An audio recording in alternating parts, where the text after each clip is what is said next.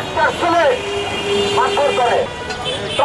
হয় ঢাকা মেডিকেলের মর্গে। আপনাদের এই সমস্ত আসারে গল্প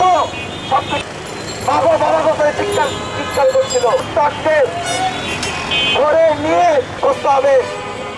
বাংলাদেশ এখন যে জায়গা এদেশের স্বাস্থ্য বলতে প্রধানমন্ত্রী এদেশের শিক্ষা বলতে আপনাদের লজ্জা লাগে না। আসলে অবস্থাকে ধ্বংস করছে খাতকে ধ্বংস করছে দশটা দাবি তুলতে চাই।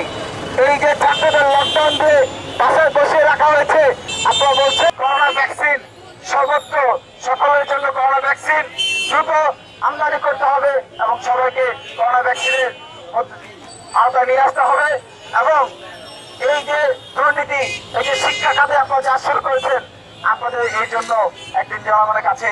আপনাদের বিচার হবে কোন আদালতে বিচার হবে।